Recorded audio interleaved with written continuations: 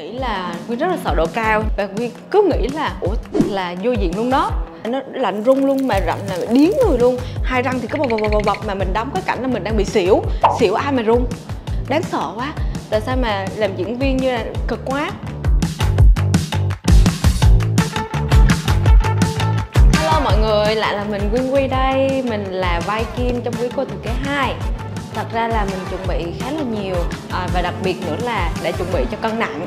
Tại vì quý cô thừa kế hai á, là cô bé này à, chơi bời Cho nên là thân hình cô bé này nó hơi hơi gầy một chút. Nhưng mà với cái số cân mà trước khi mà Quyên cắt á, thì Quyên uh, hơi béo.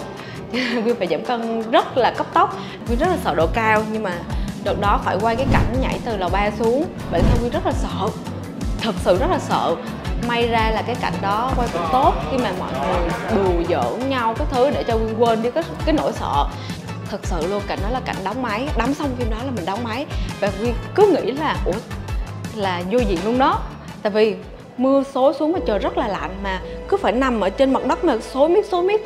Mà lạnh nha cảm giác nó lạnh mà nó lạnh rung luôn mà lạnh là điếng người luôn. Hai răng thì cứ bập bập bập bập mà mình đóng cái cảnh là mình đang bị xỉu xỉu ai mà rung xỉu đâu có ai run đâu. Cho nên là mình mình cố nén lại thật sự. Lúc đó mình nghĩ trong lòng là vừa nằm ở dưới đó mà khóc thật luôn. Tại vì đáng sợ quá. Thì khi mà đạo diễn đề xuất cho mình là cảnh này em có muốn đóng thật không? Thì mình phải suy nghĩ rất là lâu và mình nghĩ là ok, chơi luôn. Nhưng mà khi chơi rồi thì cực quá. Thật sự cái đêm đó là một đêm kinh hoàng. Xong đêm hôm đó, tối hôm đó là bị chia tay người yêu nữa. Kinh hoàng nhân đôi. kinh hoàng nhân đôi tại thời điểm đó nỗi đau của nhân vật nỗi đau của nguyên quy ở ngoài đời dồn nén vô cái chỗ đó cố gắng đóng cho thật là tốt.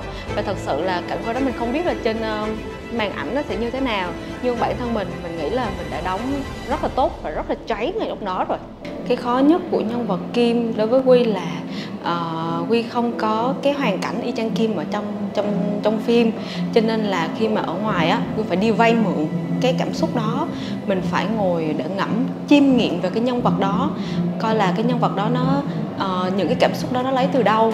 Cái thuận lợi của quyên khi mà vào vai kim đó là được gặp mà một đoàn phim các anh chị rất rất rất là dễ thương. Các anh chị á đã làm việc với nhau uh, trước đó rất là uh, nhiều lần rồi và coi nhau là gia đình rồi.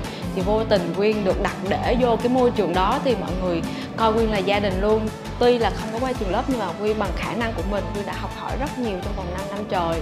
Và rất là mong là qua cái phim đầu tay này bằng hết tất cả nội năng mà quyên có thể dành cho cái phim này thì mọi người có thể công nhận quyên là một diễn viên có thực lực.